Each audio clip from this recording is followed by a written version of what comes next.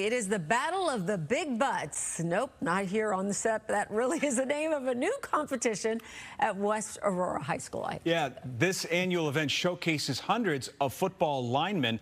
Elizabeth Matthews loves them, and she cannot lie. She takes us inside the competition. So the big butts aren't in studios. What are you trying to say, Sylvia? Yeah. What are you trying to say? Okay, by the way, we don't have to call it the uh, Battle of the Big Butts. We can call it the BBB. That's what I've been told. So if that makes you feel better, we'll call it the BBB. So obviously, uh, this was the medicine ball toss. Uh, I'll try my hand at that in a second, but take a look.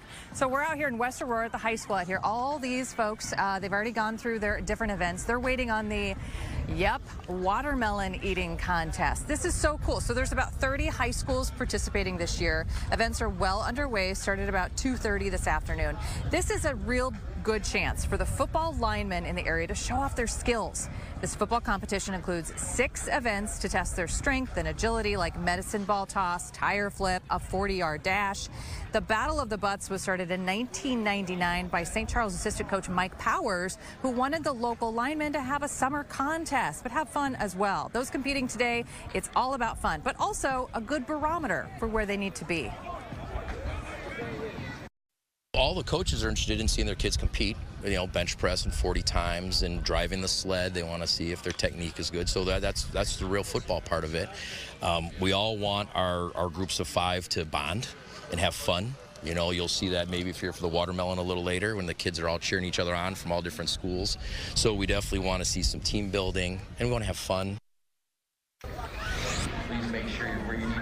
So, guys, that watermelon eating contest is about to begin. They're kind of talking about it over the loudspeaker. They get a quarter of a watermelon, they get 60 seconds, and then they are judged individually on how much they eat and how fast they can eat that. So the medicine ball, it was here. Let's just take a look. This is a 16 pounder. This is like um, one and a half of my youngest. So this is like nothing, you guys. Okay, ready? Here we go.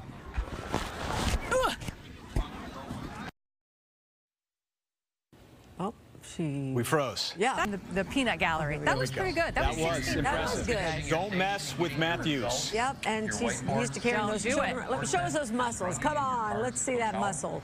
Those are oh, pythons. okay. Thanks, Elizabeth.